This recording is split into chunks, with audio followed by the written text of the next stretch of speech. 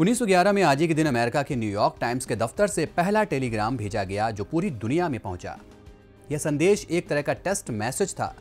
अखबार यह देखना चाहता था कि किसी व्यावसायिक संदेश सेवा के इस्तेमाल से भेजा गया टेलीग्राफ, केबल या तार के ज़रिए पूरी दुनिया में कोई संदेश कितनी तेज़ी से पहुँचाया जा सकता है। इससे पहले तार में केवल इतना लिखा था कि यह संदेश पूरी दुनिया में भेजा गया। आज एक दिन शाम सात बजे इस तार ने न्यूयॉर्क स्थित दफ्तर की सत्रहवीं मंजिल का डिस्पैच रूम छोड़ा था। यहाँ से करीब अट्ठाईस हज़ार मील की यात्रा करने और 16 अलग अलग ऑपरेटरों की ओर से संदेश को रिले किए जाने के करीब साढ़े सोलह मिनट बाद न्यूयॉर्क स्थित इसी जगह पर तार वापस मिला। इस बीच यह Telegram San Francisco, Philippines, Hong Kong, Saigon, Bombay, Malta, Lisbon और कई दूसरी जगहों पर मिल चुका था। 1900 में शुरू हुई पैसिफिक केबल के सेवा में आने के 11 वर्षों बाद पहली बार इतनी तेज गति से कोई संदेश दुनिया में एक जगह से दूसरी जगह तक पहुँचा था। 1917 में आज एक दिन मशहूर साहित्यकार त्रिलोचन शास्त्री का जन्म हुआ था। शास्त्री जी बाजारवाद के प्रबल विरोधी थे। हालाँकि उन्होंने हिंदी में प्रयोग धर्मिता का समर्थन किया। उनका मानना था, भाषा में जितने प्रयोग होंगे वह उतनी ही समृद्ध होगी। त्रिलोचन शास्त्री ने हमेशा ही नव सृजन को बढ़ावा दिया। यह नए लेखकों के लिए उत्प्रेरक थे। गुलाब और बुलबुल, उस जनपद का कवि हूँ, ताप के ताए हुए दिन, तुम्हें सौंपता हूँ और मेरा घर आदि इनकी प्रमुख रचनाएँ हैं।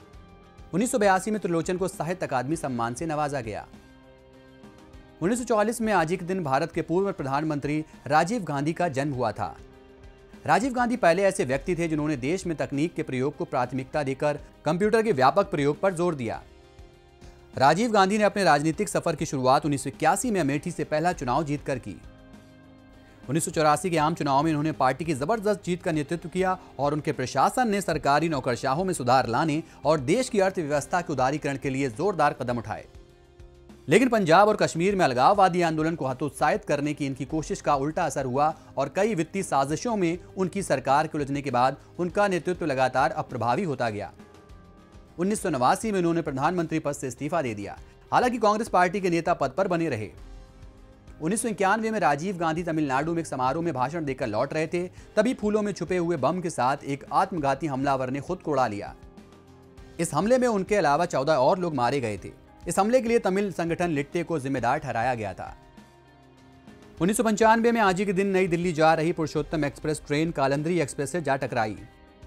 उत्तर प्रदेश के फिरोजाबाद में हुए इस हादसे में 250 लोगों की मौत हो गई थी और 300 से ज़्यादा लोग घायल हुए थे। खबरों के मुताबिक यह हादसा तब हुआ जब कालंदी एक्सप्रेस से एक गाय को टक्कर लगी और उसमें कुछ तकनीकी खराबी आ गई। जैसे ही ट्रेन रुकी, पीछे से आ रही पुरुषोत्तम एक्सप्रेस ने उसे जोरदार टक्कर मार दी। यह ट्रेन हादसा भारत में हुई रेल दुर्घटनाओं में सबसे भयानक हादसों में गिना जाता है। और 20 अगस्त, यानी कि आज का दिन, भारत में सद्भावना दिवस के रूप में मनाया जाता है। इसे समरसता दिवस और राजीव गांधी अक्षय ऊर्जा दिवस के नाम से भी जाना जाता है। यह दिवस भारत के भूतपूर्व प्रधानमंत्री राजीव गांधी की स्मृति में मनाया जाता है। राजीव गांधी सरकार का एकमात्र मिशन दूसरों के लिए अच्छी भावना रखना था।